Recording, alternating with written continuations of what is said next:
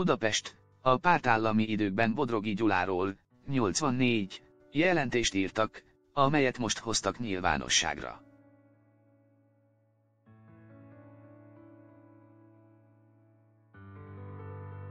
A nemzet színésze a Bliknek elárulta, annak idején őt is megpróbálták beszervezni az állambiztonság ügynökei.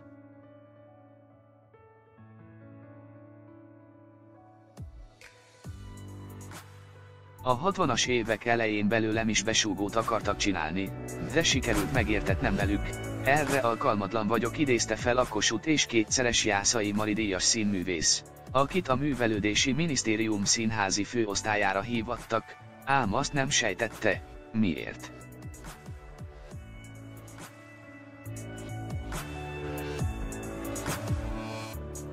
Épp egy izraeli bemutatókra készültünk a Szomorú Vasárnap című darabbal, és azt hittem, a külföldi szereplés miatt kapok eligazítást, de hamar kiderült, másról van szó.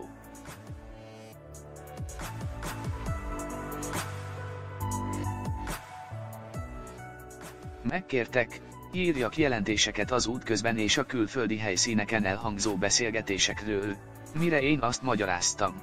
Nekem ez nem megy majd, mert elfelejtek mindent, amit hallok.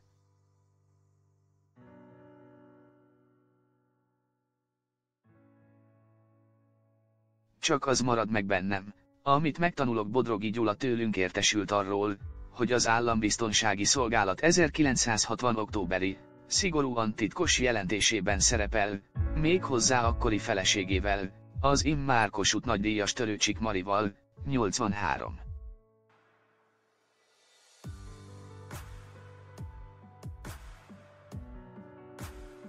A belső reakció elleni elhárítás, azaz a 2-5-ös alosztály egykori dokumentumát a héten közölte le az állambiztonsági szolgálatok történeti levéltára.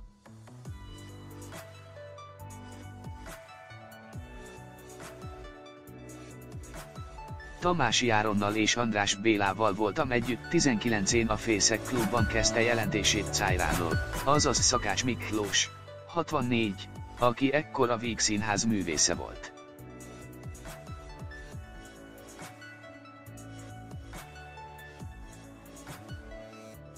Váratlanul odajött az asztalunkhoz Bodrogi és Törőcsik. Tamási addig gyötörte őket különféle gúnyos csipkelődésekkel Törőcsik felé, hogy kedvenc, és színésznő.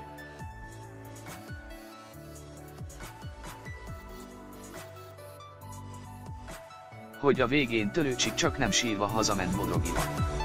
Bodrogi elképedve hallgatta a beszámolót, úgy emlékszik, ez a jelenet így nem játszódhatott le.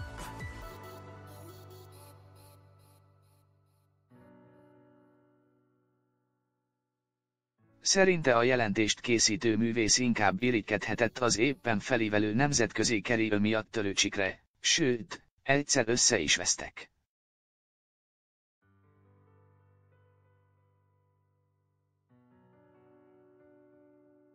Csak arra emlékszem, hogy megmondtam neki a véleményemet, és a farkas Tóni szedett szét minket, de már nem tudom, miről volt szó mesélte Bodrogi, aki nem neheztel a kollégájára.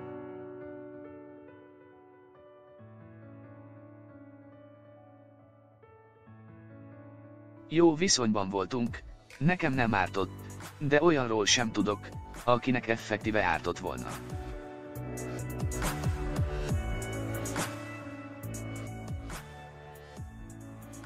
A színművész hozzátette, fiatalként egyáltalán nem foglalkozott a besúgókkal 58-ban végeztem a színművészetén, majd a József Attila színház bevett a társulatába, ráadásul házas ember voltam mondta.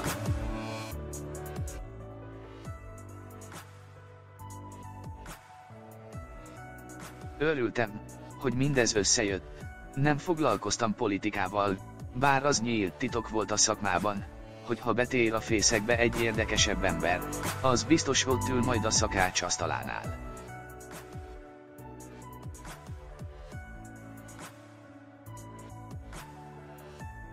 Szakács Miklós angol kém volt ellenállóként vett részt az 56-os forradalomban, ezért a kistarcsai internálótáborba került, ahol az állambiztonsági szolgálat beszervezte kulturális ügynöknek.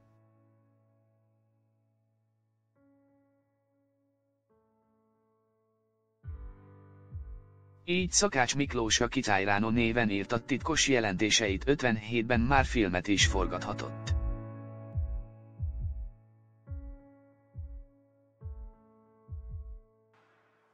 Ötven éve emigrált Magyarországról, és ezt követően derült ki, hogy angol kém is volt.